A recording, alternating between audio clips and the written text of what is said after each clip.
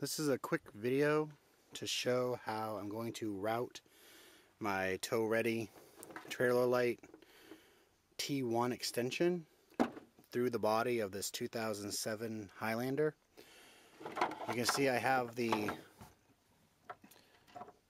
adapter plugged in and I have the ground set per the instructions. If you watch some of the videos online you'll see that they leave this cable up through here and into the compartment and then haul it out every time that they're going to tow with it. I think that I'd rather have it pass underneath and just be under the body and not have to take and move it through the gate. So what I'm going to do is this grommet right here actually passes to the outside of the vehicle and I'm going to remove this. You can see it goes to the ground. That's the ground right there. It's daylight. There's the body. And what I'm going to do is I'm going to use a knife and slit inside of this. And then pass the wire through. It's going to be a little bit difficult. This particular plug end is not the kind that you put over and is separate it's actually built onto it right here. I may have to cut that off and get a more elasticized cover, but I'm going to try and fit that through that grommet. And with just a slice, I'm not going to cut the hole out. I just want to make enough slice that this cord will, will go through. And then I'm going to use some uh, cheap duck seal and fill that in so that it still doesn't let air in and has the um, sound deadening properties. So this won't be compromised. I'll use the duck seal and put it around the, the cord. I don't have the hitch on the truck actually yet. It's coming, but uh, for now I'll just attach it to the the tie down and then later um, this will get attached to the the hitch itself on the chain eyelets and then of course when you use it you just disconnect it so um, I will do that and then show the results.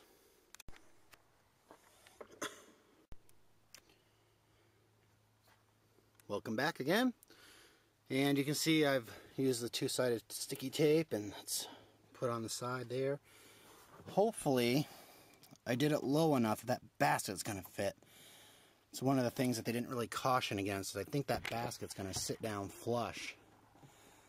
I don't know if I pushed that down far enough which is going to be a little bit of a pain to get off if I didn't.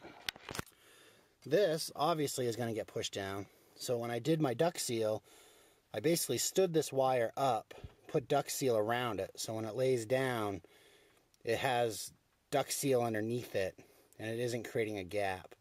When you look at it from the underside, uh, you can't see any light now. That's completely sealed back. And I basically just rolled it up, put it in the the pocket that there was there as a gasket and a grommet and then just sort of knead it out to the edge so that it gets a nice good seal on the edge of the grommet there. And I should be all set. I should be able to put the um, fuse in and put this all back together and good to go. Test it out. Thank you. Bye. And the installation is complete.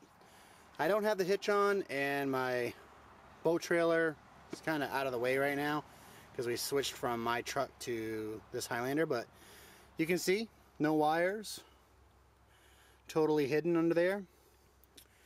And duck seal and wrench. What I've done is I've connected the wire here to a hitch brake light.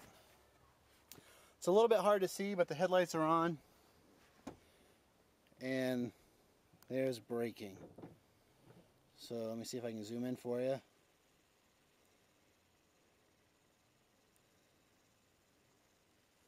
Not sure if you can see it. It's on.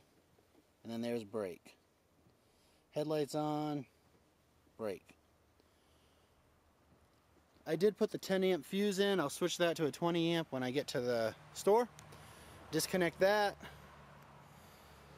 Plug the wire end up to the tie down and we should be all set let me see if I can get under here Not sure if you're to be able to see it, but um, there's where it passes through. And no light coming through. The uh, gasket's holding fine. And I'm sure if something happens, I can get to the Toyota dealership and just get a new plug if I need to, no problem. Alright, there you go. So T1 tow prep package installation clean under the body.